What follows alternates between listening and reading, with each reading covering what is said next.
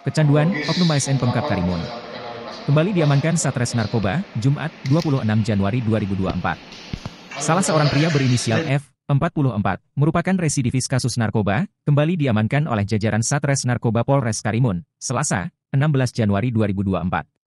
Pasalnya, ASN Pemkap Karimun tersebut berupaya mengedarkan narkotika jenis sabu di wilayah hukum Polres Karimun.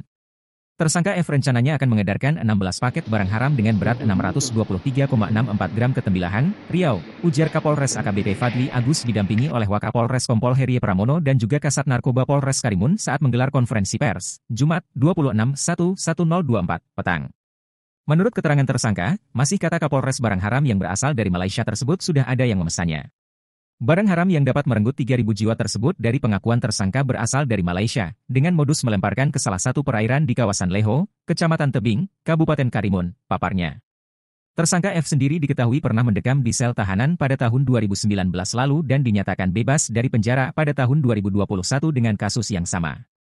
Tersangka berhasil diamankan beserta seluruh barang bukti narkotika jenis sabu, pungkasnya. Atas kasus narkotika jenis sabu tersebut, tersangka dijerat dengan pasal 114 ayat 2, subsidiar 112 ayat 2, junto pasal 132 ayat 1, Undang-Undang Nomor 35 Tahun 2009, dengan ancaman hukuman paling lama 20 tahun penjara atau denda maksimal 10 miliar rupiah. Video Aziz Maulana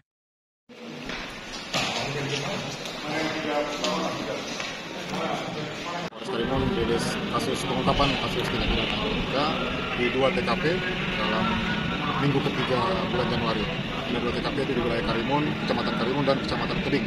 Kecamatan Karimun ada tiga tersangka, yaitu MP, AR, dan ZM dengan barang bukti berupa 8 paket narkotika seberat 372,04 gram dan 31 butir berwarna kuning diduga jenis ekstasi.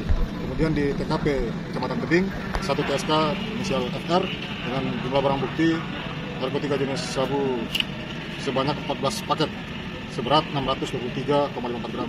Jadi total keseluruhan dari dua TKP ini ada sekitar 995,58 gram dan ekstasi sebanyak 31 31 butir. Adapun pasal yang dipersangkakan yaitu pasal 114 ayat 2 subsidiar 112 ayat 2 Undang-Undang Nomor 35 tahun 2009 tentang narkotika dengan ancaman hukuman paling lama 20 tahun penjara atau hukuman seumur hidup atau hukuman mati dengan denda pidana denda sebesar paling besar adalah 10 miliar rupiah untuk dari dari kawan yang ada di mana? Komunikasinya seperti apa? Di mana tadi luar Karimun? Kawan kawannya di luar Karimun apa dalam Karimun? Di luar Karimun. Luar Karimun. Iya. Barang diserahkan ke siapa? Barang dari kamu diserahkan ke siapa? Barang dari saya. Ah. Di mana kamu di mana? Di? Manda, Manda. Manda mana? Kampung Manda. Tembilahan. Ini anak apa sama keluarga atau apa? Keluarga. Dia yang bantu untuk ini, untuk packing. Iya. Rencana mau dibawa pakai apa?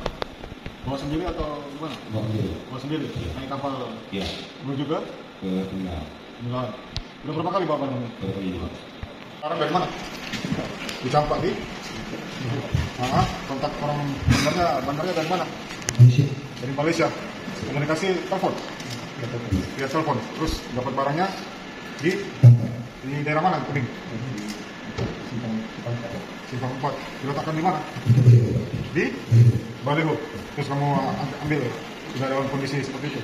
Sudah dipecah-pecah atau masih utuh? Rencana mau jual di mana? Bawa keluar ke mana? Ke Tumpung. Ke mana? Ke Tumpung. Buntung. Tembilan. Bawa buntung pakai apa di sana? Kapal biasa. Itu jadi penumpang atau bawa kapal sendiri? Jadi penumpang. Iya. Berapa kali sudah? Baru sekali ini. Masih mau diulangi lagi? Ah, sudah pernah masuk sebelumnya? Sudah pernah? Pernah masuk sebelumnya? Pernah? Bisa diperiksa apa ya? Masalah narkotika juga? ASN ada apa? ASN pada Pemkap Karimun dan sampai saat ini masih terus kami lakukan pengembangan untuk mencari pelaku selanjutnya. Adapun barang bukti yang diterima dari para tersangka ini adalah barang bukti dari luar negeri dengan sistem telekomunikasi. Kemudian pada saat mengambil barang bukti tersebut, barang bukti sudah diletakkan di satu tempat di, di pinggir jalan. Eh, yang menurut keterangan para tersangka, barang bukti tersebut akan dijual di luar wilayah Karimun, yaitu di wilayah eh, apa, Guntung dan wilayah Pemilihan. Tembilahan. Jadi semua pelaku adalah